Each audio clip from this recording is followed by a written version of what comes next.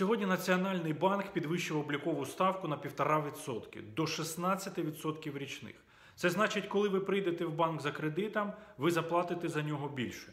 Коли підприємство, де ви працюєте, захоче взяти кошти на розвиток або на підтримку існуючої діяльності, буде змушено або платити банку більше, або взагалі відмовитися від розвитку. А ці кошти, які будуть сплачені банку, вони могли би спрямувати на підвищення вашої заробітної платні. Таким чином програє і українське суспільство, і українські виробники від такої політики Національного банку, від політики дорогих коштів.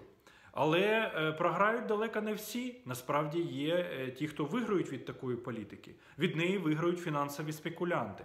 Тому що підняття облікової ставки автоматично підвищить ставку за так званими депозитними сертифікатами, які Національний банк продає комерційним банкам. І комерційні банки, замість того, щоб кредитувати реальні виробництва, реальну економіку, вони вкладуть кошти в ці депозитні сертифікати і будуть отримувати спекулятивний доход з наших з вами кишень мільярди гривень на рік за депозитними сертифікатами, просто за те, щоб зв'язати цю грошову масу, щоб вона не пішла на розвиток економіки економічний і фінансовий абсурд. Хто е, виграє ще? Безумовно, виграють е, виробники іноземної продукції і імпортери. Чому? Тому що зрозуміло, що коли кредити для українських виробників здорожчують і вони будуть згортати свою економічну активність, то відповідно звільниться місце для іноземних товарів, і наша імпортозалежність зросте ще більше. Я особливо наголошую, що таке рішення Національного банку призведе до скорочення економічної активності в країні, до згортання економічних і інвестиційних процесів. А треба робити навпаки. Навіщо заморожувати сьогодні економіку, коли її навпаки треба розігрівати, розширювати, створювати нові робочі місця, а не знищувати їх? Таке рішення Національного банку в кінцевому випадку призведе до ліквідації, до скорочення робочих місць в Україні. А головною метою економічної політики має бути створення нових робочих місць з високим рівнем доходів. Роблять навпаки. Чому ж вони так роблять? Кажуть для того, щоб боротися з інфляцією. Ніби це ніби це дозволить е, знизити інфляцію в Україні. Подивіться на попередні роки. Вони розповідають ці байки вже не вперше. Хіба це дозволяє е, втримати інфляцію? Та це роздумухує інфляцію. Те, що робить Національний банк, це все одно, знаєте, уявіть собі лікаря, який каже е, людині, в якої температура за 40, замість того, щоб цю людину лікувати, полізай в холодильник, зіб'ємо тобі температуру. Оце сьогодні робить Національний банк, замість того, щоб лікувати хвору українську економіку і нашу по суті збиткову економічну модель, яка є імпортозалежною, яка є залежною від закордонного фінансування боргового від міжнародного валютного фонду і так далі. Вони лише е, поглиблюють цю сировинну хворобу української економіки і залежність від міжнародного е, валютного фонду. Я е, поясню вам, яким чином це відбувається.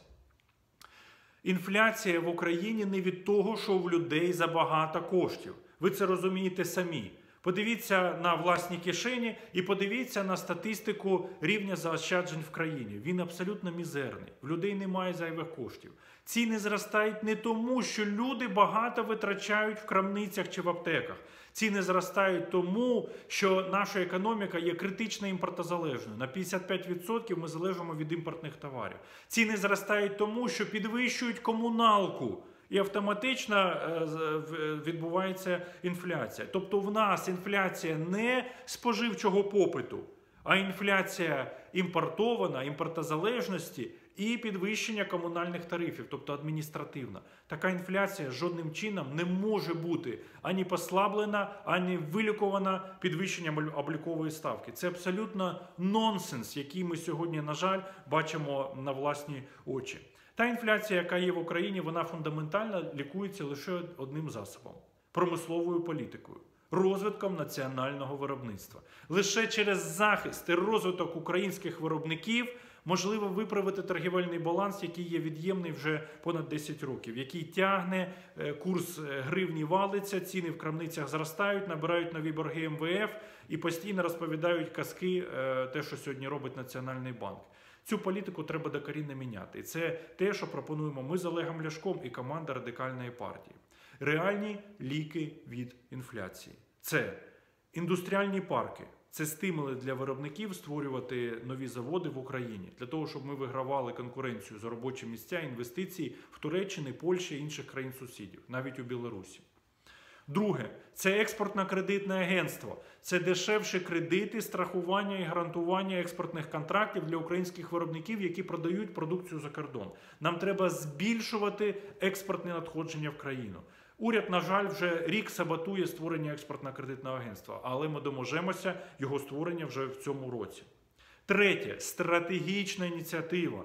Це купуй українське, плати українцям. Вона вже підтримана парламентом в першому читанні, і співавторами нашої, нашої з Олегом Ляшком ініціативи стали понад 30 народних депутатів з різних фракцій і груп. 241 народний депутат підтримав цей законопроект за основу. Ми найближчим часом приймемо його в цілому. Це розумне імпортозаміщення, це надання економічної переваги українській продукції при державних закупівлях. Це реальний механізм подолання інфляції, імпортозалежності, бідності, безробіття, імміграції. І це ліки від кредитів МВФ, які, на жаль, нам нав'язує як панацею Національний банк України. Четверта ініціатива промислового пакету реформ це безкоштовне приєднання до інженерних мереж, це зняття бар'єрів на вхід в українську економіку. Так от прийняття цих чотирьох законів дозволить е, і стримати інфляцію, і забезпечити економічне зростання. Не один чи два відсотки, як ми маємо сьогодні економічного зростання, а 5, 7 і до 10% економічного зростання. Це нова економічна реальність і зовсім протилежна тій, яку пропонує нам Національний банк України. На жаль, вони руйнують українську економіку, вони скорочують чисельність робочих місць, збільшують безробіття і створюють штучну залежність від міжнародного валютного фонду. Сьогодні керівництво Національного банку України е, працює не на українське суспільство, не на народ України. Вони сьогодні працюють на МВФ. Але наша команда ми зробимо все, щоб покласти цьому край.